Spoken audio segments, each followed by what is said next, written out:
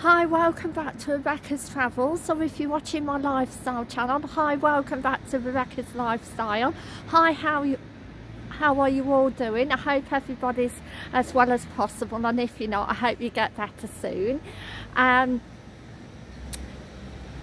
if you haven't subscribed to my travel and my lifestyle channel, please subscribe. I'm going to do another update footage video of Marlborough Square at Coalville and if if you're um, new to my channel and you are uh, subscribing or you have subscribed a big thumbs up and thank you for doing that. I really appreciate it. Really helps my uh, travel and my lifestyle channel out.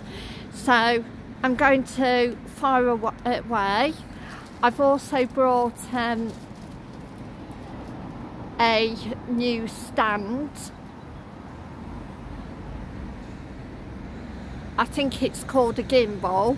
What um, a person on YouTube recommended. It looks like they've uh, got at least some of the flat ground um, of the events area um, layered and I think there's more work to be done um, up there near Subway and also down there towards Marlborough Day Nursery.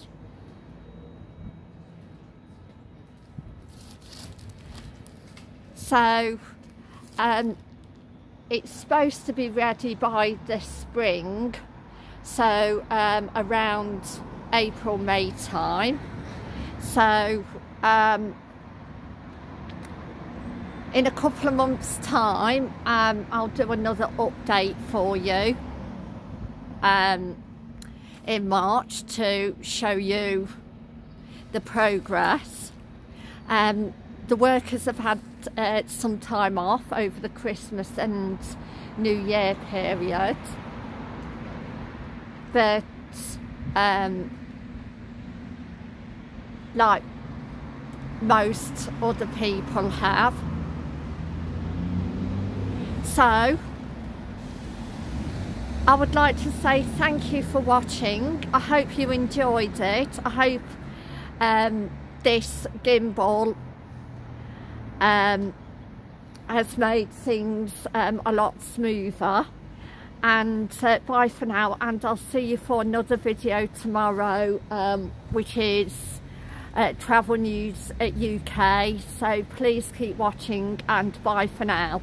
Thank you. Bye